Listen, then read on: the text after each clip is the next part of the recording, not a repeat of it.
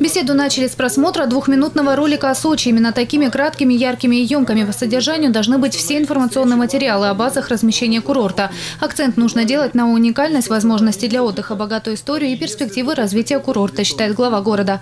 Грамотная рекламная политика, по мнению мэра, очень важная составляющая в системе привлечения туристов.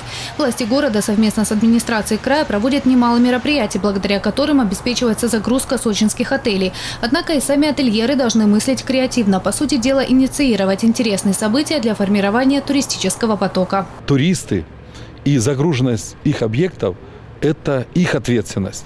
Это их бизнес, это они зарабатывают деньги. И поэтому они должны быть более активными, более прогрессивными.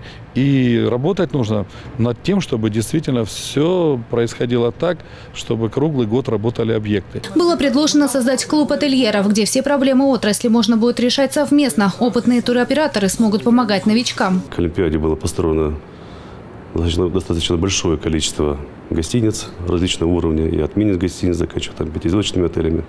Конечно, проблема такая существует по заполнению.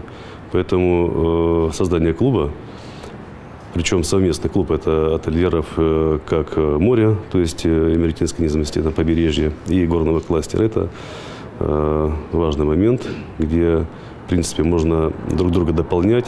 Еще одной платформой для обмена знаниями и ресурсами, возможно, станет специальный сайт, на котором будет размещена информация как о городе в целом, так и обо всех отелях курорта.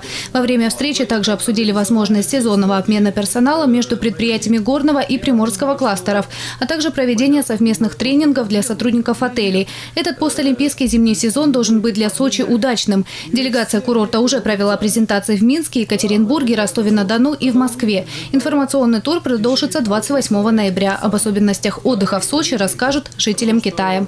Татьяна Нагорская, телекомпания «ФКТ».